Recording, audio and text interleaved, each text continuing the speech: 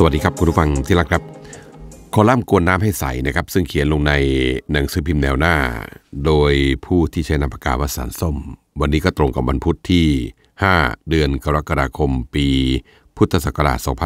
2566 นะครับ หัวข้อที่ให้ไว้เนี่ยคือ9พลาดเก้าอี้ประธานสภา9ต่อไป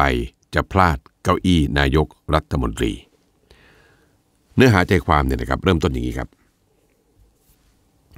การประชุมสภาผู้แทนราษฎร เพื่อเลือกประธานสภาผู้แทนราษฎรก็ผ่านไปแล้วเรียบร้อยนะครับ ประการที่หนึ่งครับ เป็นอันว่าพักก้าวไกลเนี่ยไม่ได้เก้าอี้ประธานสภาผู้แทนราษฎร พลาดไปตามคาด สัปดาห์หน้าครับ จะพลาดเก้าอี้นายกรัฐมนตรีตามไปด้วยหรือไม่เนี่ย โปรดรอชมก็แล้วกัน นี่เป็นประการที่หนึ่งประการที่สองครับ ตำแหน่งประธานสภาที่พักก้าวไกลกับพักเพื่อไทยช่วงชิงกันอย่างแข็งขืนมาตลอดเนี่ยนะครับ สุดท้ายตกเป็นของนายวันมูฮัมหมัดนอมัทาหัวหน้าพักประชาชาติ โดยปราศจากคู่แข่ง อาจารย์วันนอเนี่ยเหมือนกับเป็นแม่น้ำแยกสายไผ่แยกก่อออกจากพักของทักษิณชินวัตรนะครับ ประการที่ 3 ครับ การที่พักก้าวไกลเสียเก้าอี้ประธานสภาเนี่ยสะท้อนถึงความพ่ายแพ้ ชนิดหมดรูปเลยทีเดียว แต่พยายามที่จะอำพรางความบอบช้ำผ่านการอ้างว่ายอมยกเก้าอี้ให้กับคนกลาง แต่จริงๆแล้วเนี่ยอยากได้ใจจะขาดครับ แล้วก็เจ็บปวดจนจะขาดใจ เพราะรู้อยู่ว่าวันนอกับทักษิณเนี่ยมองตาก็รู้ใจนะครับ เหตุที่วันนอแยกออกมาจากพักไทยรักไทยของทักษิณเนี่ยก็เป็นเพราะว่าพักของทักษิณไม่มีวันขายได้ในพื้นที่ภาคใต้ โดยเฉพาะใน 3 จังหวัดชายแดนภาคใต้ที่ทักษิณเนี่ยเคยไปก่อกรรมทำเขียนเอาไว้ ชาตินี้คนใต้ไม่มีวันลืมครับ นี่เป็นประการที่ 3 ประการที่ 4 ครับคำว่าน่าชื่นอกตรมในนาทีนี้เนี่ยนายพิธาลิ้มเจริญรัตน์ พยายามจะยิ้มกลบเกลื่อนกับการที่ต้องยอมถอยเรื่องของตำแหน่งประธานสภา ทั้งที่มีการประกาศกล้าวเอาไปก่อนหน้านี้นะครับว่าเราตัดสินใจภายใต้การรักษาเอกภาพการทำงาน ระหว่างพรรคร่วมรัฐบาล พิธาพูดอย่างนี้แหละครับ ด้อมส้มครับ ฟังเอาไว้นะครับ ไม่ต้องเอาทัวไปลงใครทั้งสิ้นแหละครับ ก็พ่อส้มเนี่ยตัดสินใจถอยเอง แล้วก็เป็นคนเสนอชื่อนายวันมูฮัมหมัดนอมัทาด้วยตนเองในสภานะครับ อย่าลืม นี่เป็นประการที่4ครับ ประการที่ 5 ครับ เรื่องของรางวัลปลอบใจ ผลการลงคะแนนเลือกประธานสภาคนที่หนึ่งเนี่ยปรากฏว่านายปฏิพัฒน์สันติพาดา ซึ่งเป็นสสพิษณุโลกพักก้าวไกล ชนะนายวิทยาแก้วพราดัยสสบัญชีรายชื่อ จากพักรวมไทยสร้างชาติ ปฏิพัฒน์ได้มา 312 คะแนน วิทยาได้มา 105 คะแนน งดออกเสียง 77 เสียง และมีบัตรเสียอีก2ใบ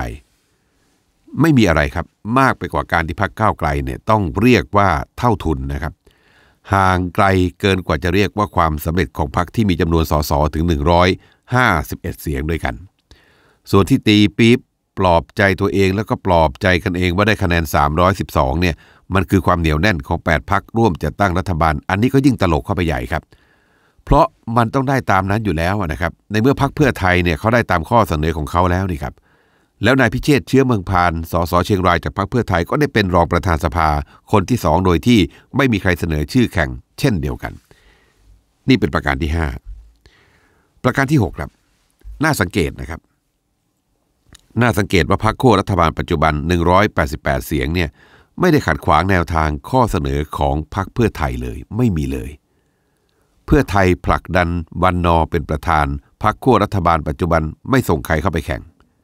เพื่อไทยผลักดันพิเชษเป็นรองประธานคนที่สองพรรคขั้วรัฐบาลก็ไม่ส่งใครเข้าไปแข่งเช่นเดียวกัน แต่พรรคขั้วรัฐบาล 188 เสียง โดยรวมไทยสร้างชาติเนี่ยกลับเสนอแข่งเฉพาะกับนายปฏิพัฒน์ซึ่งเป็นสสมาจากพรรคก้าวไกล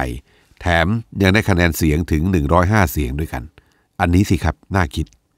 นี่คือประการที่ 6 นะครับ ประการที่ 7 ครับ ท่าทีของพรรครวมไทยสร้างชาติ ในพีรพันธ์สารีรัฐวิภาค ในฐานะหัวหน้าพรรครวมไทยสร้างชาติเนี่ยชี้แจงอย่างนี้นะครับ บอกว่า วันนี้พรรครวมไทยสร้างชาติได้ทำหน้าที่ที่สำคัญในการประชุมสภาผู้แทนราษฎรนัดแรกไปแล้วนะครับ คือการเสนอชื่อนายวิทยาแก้วพาราได ลงแข่งในตำแหน่งรองประธานสภาผู้แทนราษฎรคนที่หนึ่งหลังจากที่มีผู้เสนอสมาชิกจากพรรคก้าวไกลเนี่ยให้ดำรงตำแหน่งนี้ ซึ่งถ้าหากว่าไม่มีใครเสนอชื่อแข่งผู้ที่ได้รับการเสนอชื่อเพียงคนเดียวก็จะลอยลำได้ตำแหน่งรองประธานสภาผู้แทนราษฎรคนที่หนึ่งโดยทันที เท่ากับว่าเราเนี่ยยอมรับไปด้วย ดังนั้นเราจึงต้องทำหน้าที่แม้จะเป็นพักเล็กมีสสเพียงแค่ 35 คน เพราะอนุชาบูรพชัยศรียังไม่ได้เลื่อนขึ้นมาแทนผม จึงต้องเสนอสู้กันต่อไป เรื่องนี้ไม่ได้อยู่ที่ผลแพ้ชนะหรอกครับ แต่อยู่ที่ใจครับ ใจแล้วก็สำนึกในการทำหน้าที่ปกป้องสิ่งที่เรารัก ใครจะร่วมสู้กับเราบ้างก็แล้วแต่ แต่อย่างที่บอกแพ้ชนะไม่สำคัญสำคัญที่สุดคือเราสู้ไม่ถอยแค่นั้นแหละครับ นี่เป็นประการที่ 7 ประการที่ 8 ครับ ในการประชุมรัฐสภาเพื่อเลือกนายกรัฐมนตรีเนี่ยมีคำถามคือมีโอกาสจะออกในแนวไหนบ้างคำตอบคือเชื่อแน่ครับว่าพักร่วมจะตั้งรัฐบาลทั้ง 8พักเนี่ยจะต้องเสนอชื่อของนายพิธาลิ้มเจริญรัตอย่างแน่นอน โดยไม่มีการเสนอชื่อบุคคลอื่นขึ้นมาแข่ง แล้วก็จะได้คะแนนสสไป 312 คะแนนแน่นอน แต่ว่าจะได้คะแนนนับรวมสสกับสวถึง 376 หรือไม่เนี่ยโอกาสน้อยมากครับ เพราะว่าสมาชิกรัฐสภาซึ่งประกอบไปด้วยสสกับสวที่เหลือจะไม่ลงมติเห็นชอบนายพิธาเป็นนายกรัฐมนตรีนะครับสวส่วนใหญ่อาจจะงดออกเสียง แล้วหลังจากนั้นเนี่ยประธานวันนอก็คงต้องดำเนินการตามที่ประกาศเอาไว้ว่าจะเสนอชื่อนายพิธาอีกครั้งสองครั้งเท่านั้นแหละครับ เว้นแต่คดีหุ้นสื่อไปถึงศาลรัฐธรรมนูญซะก่อน หลังจากนั้นเป็นโอกาสที่พรรคเพื่อไทย จะเสนอชื่อบุคคลในบัญชีรายชื่อของพรรคตนเองขึ้นเป็นนายกรัฐมนตรี เมื่อพักเพื่อไทยเป็นแกนนำในการจัดตั้งรัฐบาล ก็อาจจะไปดึงเอาพักอื่นเข้ามาร่วมจัดตั้งรัฐบาลเพิ่มเติม ซึ่งอาจจะเป็นเหตุให้พักก้าวไกลเนี่ยต้องถอนตัวออกไปเป็นฝ่ายค้านนะครับ โปรดติดตามว่าจะเป็นเช่นที่ว่านี้หรือไม่นะครับ